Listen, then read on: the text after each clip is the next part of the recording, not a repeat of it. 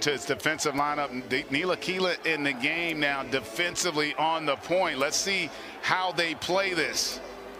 Here is Young. Finds his spot. Young on the floater. Puts it in.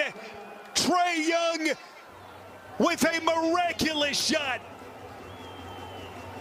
Wow, what an incredible play by Trae Young. Defense broke down, nobody there to help, and Trae delivers.